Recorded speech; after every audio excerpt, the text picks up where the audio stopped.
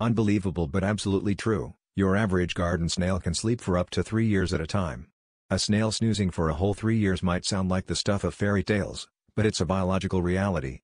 This extended nap is a survival technique snails use during periods of harsh weather and scarcity of food. So next time you spot a snail in your garden, think twice before you disturb it, it might just be in the middle of a three-year-long dream.